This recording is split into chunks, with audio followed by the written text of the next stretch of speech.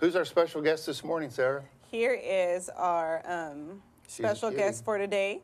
It is a female Australian cattle dog mix. Her name is Lucy. Um, black, gray, and brown in color. She is very, very cute.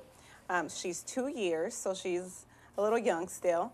Um, cost to adopt ranges from 100 to 120.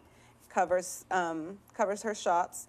Um, Lucy is loving and playful. She is alert and smart. She would make an excellent farm or ranch dog.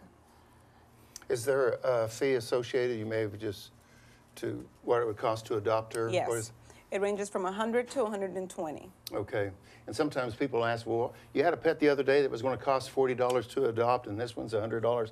It all depends on the shots. It all depends on, I guess, you know, being spayed, neutered, things of this nature. So there, there is that variation. It's just not that we feel one day to charge 100 and one day $50. It all depends on what uh, we need to do to get the pet ready for a new home. Well, has an itch. She has an itch somewhere. but, but what a cutie. 249 4910 is the number to call. And how old, Sarah, did you said she was two years two old. years old? Yes. So she's still very much uh, available for a great home. So 249 4910 is the number to call.